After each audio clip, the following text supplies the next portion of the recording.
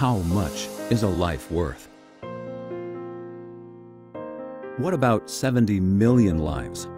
Lives lived behind a veil in one of the most closed countries in the world. How much are these lives worth? Lives lived in one of the most hostile places in the world to the message of Christ. But what if you could go into the living rooms of every one of these lives?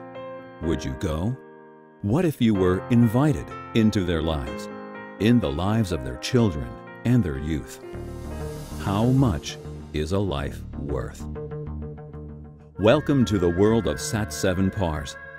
Our calling is to take the message of the kingdom of God into the lives and the living rooms of the 70 million people living in Iran. Every day, Iranians invite us to come into their homes.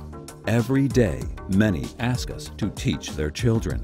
Every day, the youth of Iran invite us to discuss the faith of Jesus the King with them, all within the safety and the comfort of their own homes, inside one of the most closed countries in the world. We dream of producing short films which will challenge the worldview of Persians living inside Iran. We dream of providing the growing number of believers inside Iran with the training to finish the Great Commission among their people.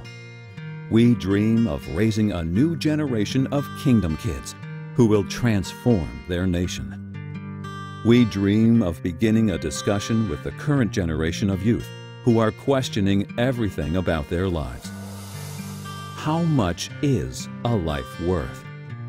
Will you go with us into the homes of millions of Iranians? Right now, they are inviting.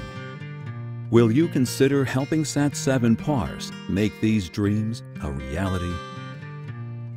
We thank you, and the people of Iran thank you.